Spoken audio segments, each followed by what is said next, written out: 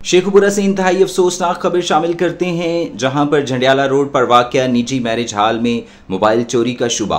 मुकामी चौधरी ने अपनी ही अदालत लगा ली। अरसा ग्यारह साल से मैरिज हाल में सफ़ाई करने वाले नुमान मसीह को सरेआम सड़क पर तशद का निशाना बनाते रहे।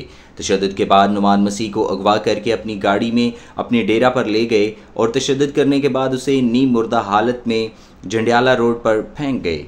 नुमान मसीह को डीएचक्यू अस्पताल में दाखिल करवा दिया गया है।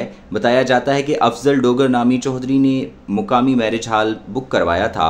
अफजल डोगर को शक था कि नुमान मसीह ने उसके रिश्तेदार का मोबाइल चोरी कर लिया है।